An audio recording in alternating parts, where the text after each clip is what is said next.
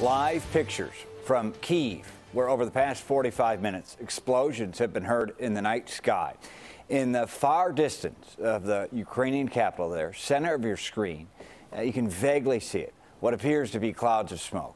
The blasts coming moments after Russian President Vladimir Putin announced a special military operation to protect, his words, Donbas in eastern Ukraine.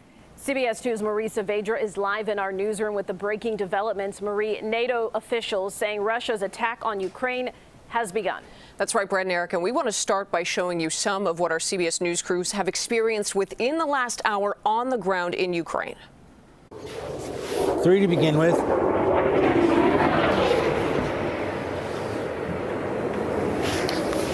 That sounded like a fighter jet overhead. At the same time as those bombings started, a second emergency United Nations Security Council meeting was underway in New York City. President Putin's announcement coming during that meeting just before 6 a.m. in Moscow.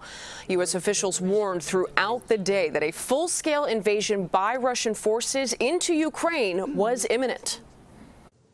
This is a perilous moment, and we're here for one reason and one reason only to ask Russia to stop return to your borders. Send your troops and your tanks and your planes back to their barracks and hangars.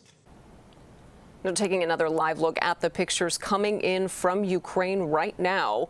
Minutes ago, we did hear some reaction from the White House. President Joe Biden denouncing what he called an unprovoked and unjustified attack on Ukraine, pledging the world will, quote, hold Russia accountable. Brad and Eric, of course, will be following developments overnight, sharing those updates online, and the latest tomorrow morning starting at 4.30 on the CBS 2 Morning News. For now, in the newsroom, I'm Marie Saavedra. All right, Marie, thank you.